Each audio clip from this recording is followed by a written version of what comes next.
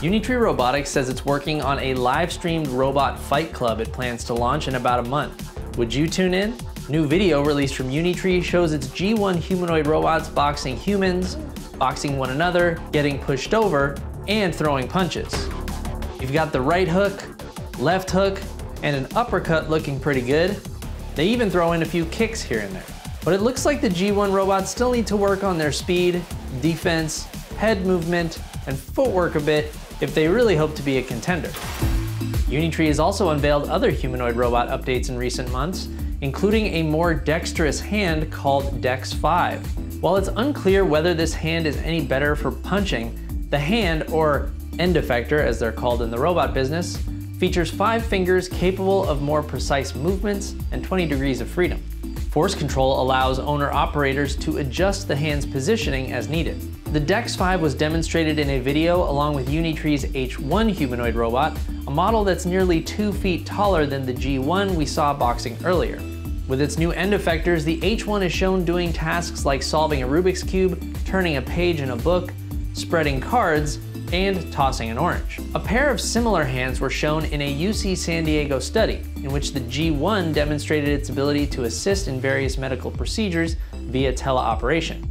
The hands used in this study are called Inspire Hands Gen 4 from Inspire Robots. Both these and the Dex 5 hands seem to be an upgrade from the ones I shook back at CES earlier this year, which were mostly for show and I definitely wouldn't trust with any kind of medical work.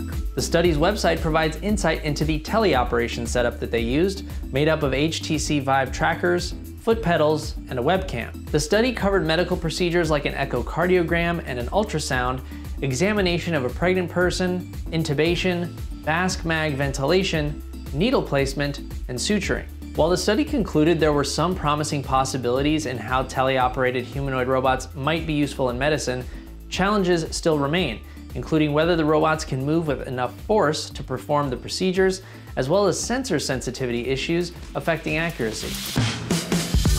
It appears we may be entering a new era in which Unitree's robots are capable of healing with their robot hands, or hitting. Hmm. In a series of disclaimers at the end of its boxing video, Unitree called the new features, quote, relatively safe and encouraged no imitation.